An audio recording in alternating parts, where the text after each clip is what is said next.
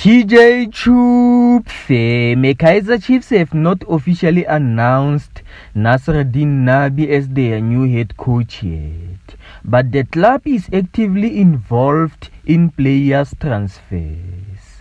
Recently, the Soweto Giants released four senior players Keagan Dolly, Sifiso Hlanti, Siyethemba Sithebe, and Njabulo Ngcobo.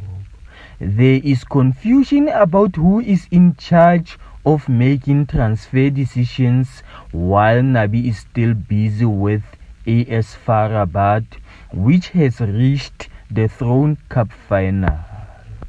The club has a history of making transfer mistakes, and the recent decision to release experienced players have caused concern among fans.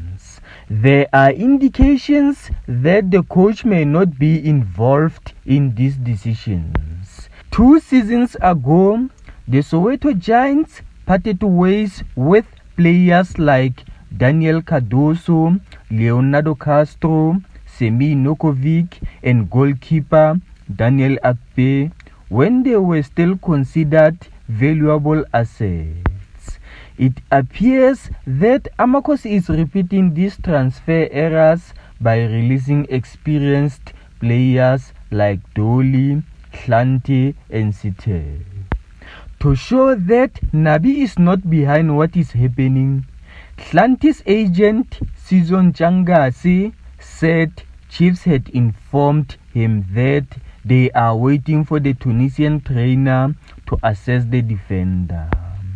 But to his surprise, the left back was told he was no longer required at Naturena.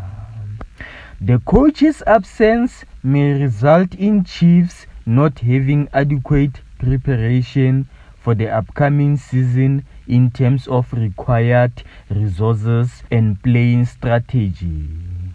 Thank you so much for tuning into this video.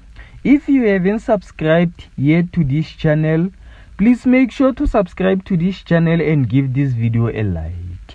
Thank you.